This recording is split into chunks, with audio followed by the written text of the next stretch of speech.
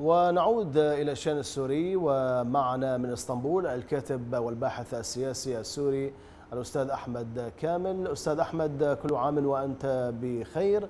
نبدأ من تجديد واشنطن على ضرورة خروج الإيرانيين من سوريا. كيف تقرأ هذا التصريح؟ إذا كانوا صادقين فهذا خبر جميل جدا للشعب السوري لأن الإيرانيين نظام الملالي في إيران ارتكب فظائع في سوريا وعنده لم يرتكبها محتل سابقا في سوريا لا المغول ولا التتار ولا الصليبيين ولا الروم ولا الفرس ولا ولا الفرنسيين ولا وحوش الأرض.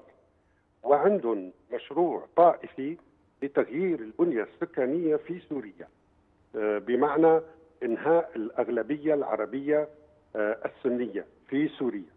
فاذا إذا إذا كان هذا الكلام صحيحا فيكون خبر جميل جدا للسوريين ويكون خبر جميل جدا للمنطقة لأنه المشروع الإيراني هو مشروع لكل المنطقة. ولكن في عندنا شك في الموضوع مع الإدارة الأمريكية. كثيرا ما تطلق تصريحات ويكون الواقع غير ذلك.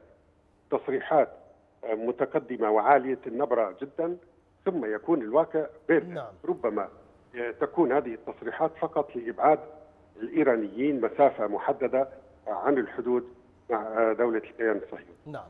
أستاذ أحمد يعني جون بولتون مستشار الأمن القومي الأمريكي قال بأن روسيا علقت في سوريا. موسكو ردت من جانبها بأن واشنطن علقت في العراق وأفغانستان. برأيك هل نحن أمام حرب باردة جديدة في سوريا؟ لا. التوافق الأمريكي الروسي عالي جدا. الروس دخلوا إلى سوريا بموافقة أمريكية. وهم يرتكبون كل الفظائع التي يرتكبونها بموافقة آه، أمريكية. حصل خلاف بينهم مرة واحدة عندما اقترب الروسي من نفط آه، شرق سوريا قرب الحدود العراقية وقتلوا الروس قتلوا مئات الأمريكيون قتلوا مئات من الروس والإيرانيين آه، في تلك المنطقة، هذه هي نقطة الخلاف الوحيدة التي كانت بينهم، الاستراتيجية الأمريكية.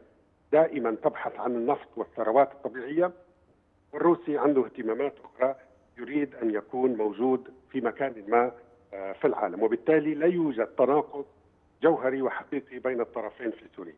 نعم. كيف سيكون برأيك السيناريو المقبل في البلاد مع صعود النبرة الأمريكية ضد إيران وتصاعد نشاط آه، آه، الميليشيات الميليشيات الإيرانية في سوريا؟ حسب صدق الموضوع.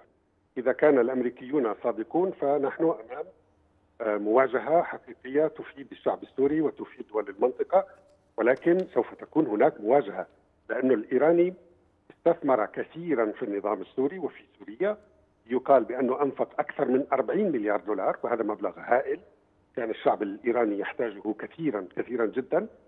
وخسر ألوف الرجال وخسر الكثير من السلاح ودفع ثمنا سياسيا باهظا فمن المستحيل تخيل أن الإيراني يخرج بسهولة لن يخرج إلا بمواجهة آه، مع أمريكا آه، وهذا آه، ننتظر لنرى هل هو حقيقي أم لا.